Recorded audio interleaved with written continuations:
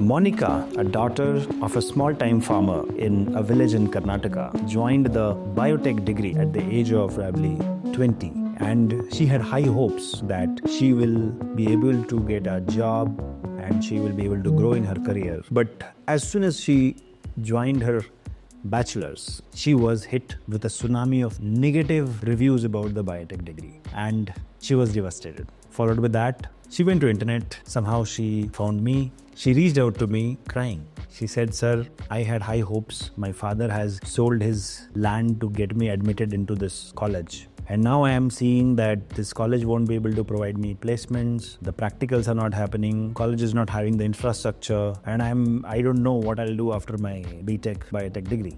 And that is where I felt I should make this video. So this video is in response to her and many of you who are feeling the same way. I remember when I started my bachelor's degree, the first day in my class after the orientation session, I turned back and I asked this question to my friend also What is the scope of this course? Why are we even doing this course?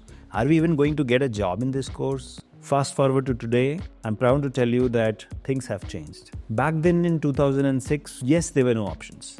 Truth be told, even till 2018, there were very less options in the biotech scenario. But things have started changing during and after the pandemic. So I don't want you to be disappointed. Rather, in this video, I'm going to tell you the myths which you should avoid. Now, many of you are still reading those old comments or, those old seniors who are giving you these kind of reviews that you don't have jobs in biotech it's no longer the truth things have changed in last 6 years biotech industry has grown from a 60 billion dollar industry to a 150 billion dollar industry that means a jump of 90 billion whether it is biopharmaceuticals whether it is your agri-tech medtech biomedical wearables, anything, it's all getting revolutionized. And today we have more biotech startups than it was back then. And if you want proof of that, I'm putting a link in the description the list of top 100 biotech companies and pharma companies in India where you can look for a job and also a list of top 100 startups across the globe as well as in India where you can get a job. Remember, startups are easy for a job. It is easy to get a job in startups, right?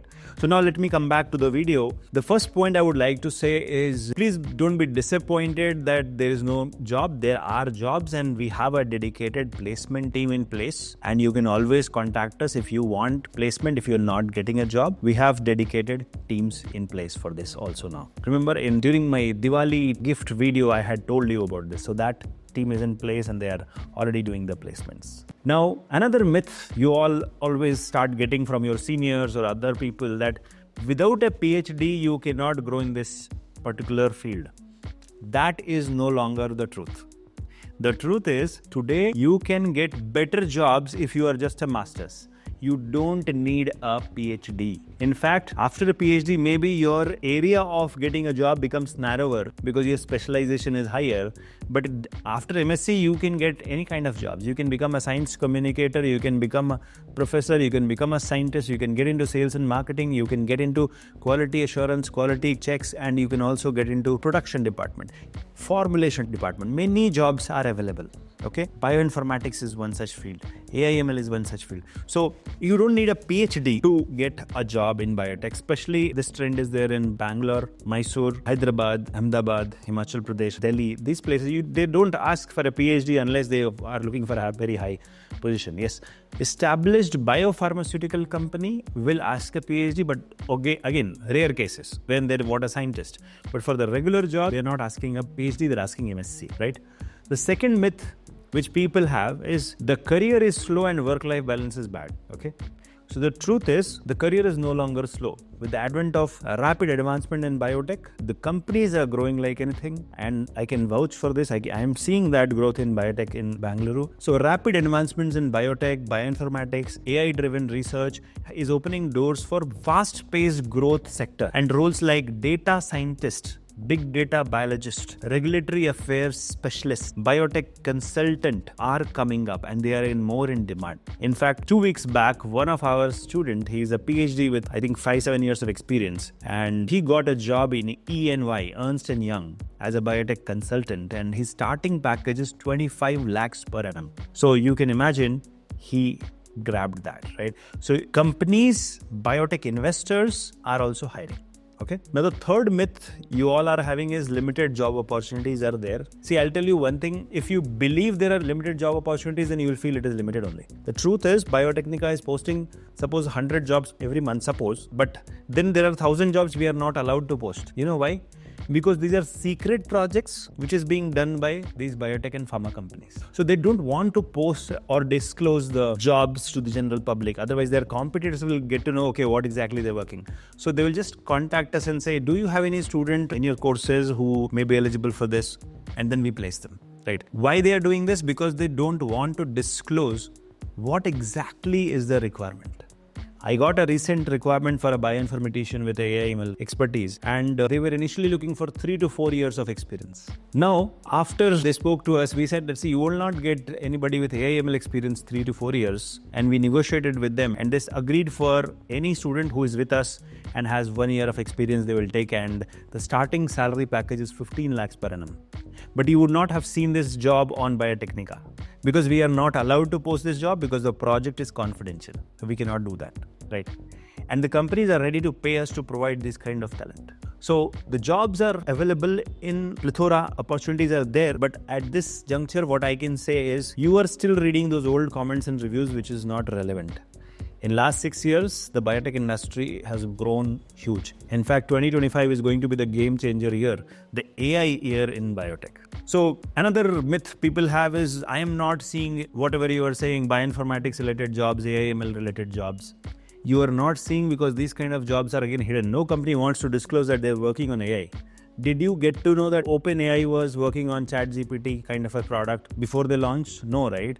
Most companies keep their projects secret. And in biotech, because they have to get a patent, they cannot disclose to general public. And that is why you're not seeing more of AI related jobs in other job portals, but they're hiring through us. They're hiring through consultancies like us right? So that is where this myth must not be there in your mind. Now, the fourth one, which many students have, is you should have lab expertise to get a job in biotech. That's no longer truth. You should have good soft skills, good understanding of technical skills, data analysis skills, and even if your wet lab skills are weak, or you don't want to work in a lab, still jobs are available. Biotech product manager jobs are there. Regulatory affairs jobs are there. Clinical research jobs are there. Clinical data management jobs are there. AI ML analyst is there. Bioinformatician is there. For this you don't need wet lab experience.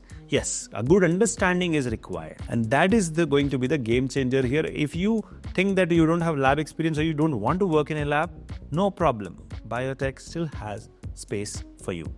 Now, moving to the last myth which people have is high salaries are uncommon. Very less people get high salaries. See, I'll tell you one thing no company will give you low salary in mega cities. Small cities, anyways, biotech companies are not there. In a place like Bengaluru, you will not survive if you don't get above 20 25,000. So, nobody will give you less than that. And if they are giving, you should not take also. But high salaries, where it comes 10 lakhs per annum, 15 lakhs per annum, is available. I recently placed MSc postgraduate in biotechnology in a cosmetics cosmeceuticals company. And her starting package was 12 lakhs per annum. After one year it became 15 lakhs per annum. Third year she's getting 18 lakhs per annum. So you can see the growth in last 3 years for her. It started at 10 now it has increased by 80% it is 18 lakhs per annum. So high paying salaries are there, but only for those who make themselves valuable for the company. And how do you become valuable? By staying longer in biotech companies. See, other companies like IT and all, the more you switch jobs, maybe you will grow. But in biotech companies, the longer you stay, your value increases because you have more work experience and they don't have the bandwidth to, to go and hire again and explain all their confidential projects, right?